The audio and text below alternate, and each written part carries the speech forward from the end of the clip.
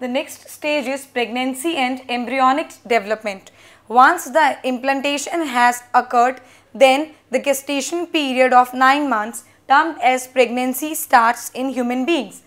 You can see in this diagram, this is the cavity of uterus, embryo is inside it, embryo is attached outside through this umbilical cord and these are placental villi and this is plug of mucus in the cervix. Now, the outer layer trophoblast develops villi uh, which are projections known as chorionic villi. These villi are interdigitated with uterine tissue and forms a functional unit which helps in transport of food, uh, hormones across embryo and mother.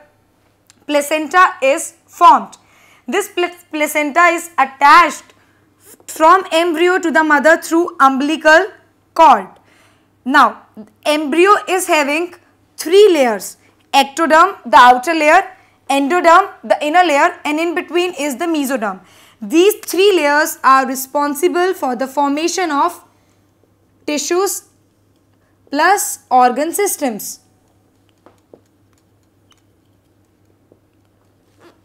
Placenta is also responsible for the formation of certain hormones which are HCG, human uh, chorionic gonadotropin, human placental lactogen and apart from this the other hormones involved in pregnancy are relaxin, estrogens, progesterones. Relaxin is formed at the later stage of pregnancy.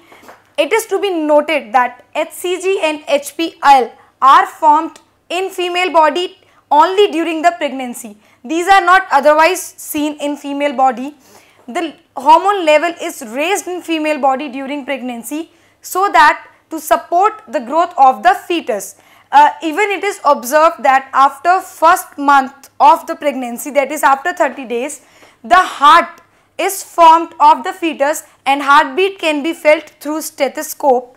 After the first trimester limbs and major organ systems are formed and the movement of fetus is experienced in the body after the 5 months of the pregnancy and after the 9th months that is completion of gestation, hair, eyelids and a complete mature grown up fetus is present inside the body.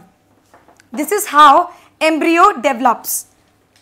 Let us study it in different phases. Embryo. First is the heart formation then organ systems and limbs.